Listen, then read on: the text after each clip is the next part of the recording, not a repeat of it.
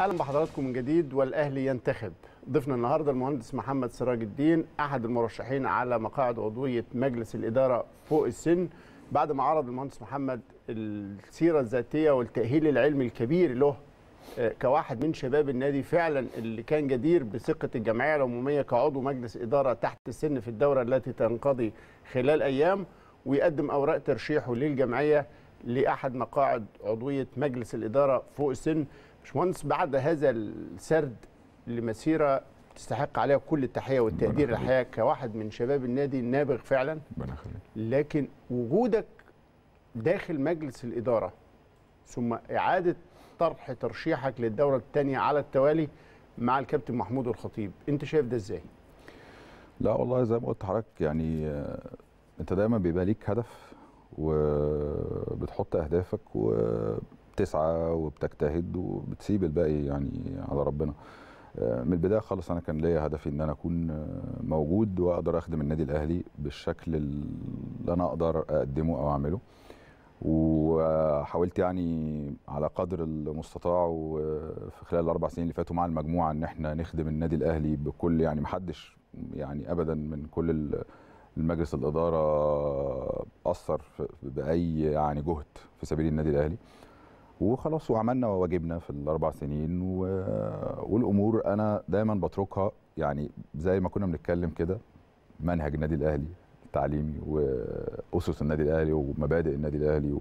وسر نجاحه إنه دايما إحنا الأمور دي بيبقى ليها آه، يعني عرف وليها تقاليد معينة وليها خط سير معين. وده سر نجاح النادي. آه، مش معنى كده إن أنا بقول إنه إنه ما حد ينزل أو حد ما ينزلش. لأ كل طبعا ده بيبقى حق مكتسب للجميع وحق مشروع ل- سوري يعني حق مشروع للجميع. لكن آه، أنا بالنسبة لي أنا بتكلم كمحمد سراج الدين آه، أديت الحمد لله المهمة في الأربع سنين. وخلاص يعني في الأربع سنين الجايين بشوف رؤية رئيس نادي إيه. يعني رؤية كابتن محمود الخطيب كرئيس النادي الاهلي لأنه في النهاية انت لما بت خلاص عندك الثقة في الشخص ككابتن محمود الخطيب بقيمته وبتاريخه الكبير وبالنجاحه اللي حققه في الأربع سنين اللي فاتوا فلما يبقى عندك الثقة دي آه، انت في النهاية بت... لازم تسيب له المجال آه، ان هو يختار العناصر اللي هو يقدر يشتغل معاها في الأربع سنين القادمة.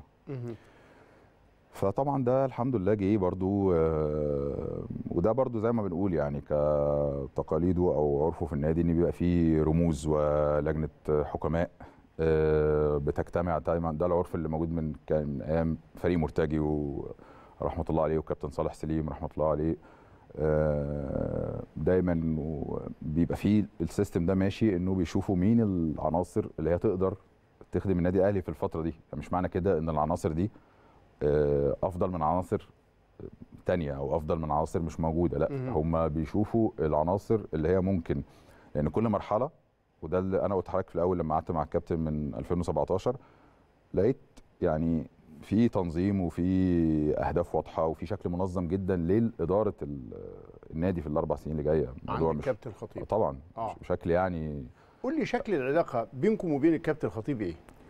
آه، الأمور بتمشي إزاي؟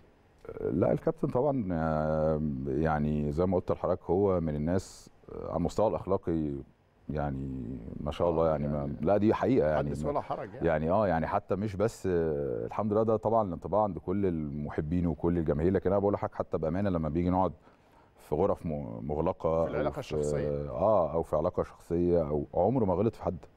ده بجد يعني يعني يعني إحنا كان ممكن يجي في أوقات معينة نبقى قاعدين بنتغدى بنتعشى قاعدين مع بعض في حد معين مضايقنا في حاجات مضايقانا فعادي ممكن إحنا نتكلم براحتنا شوية أو بينا وبين بعض يعني. أيوه. لا هو لأ ما ما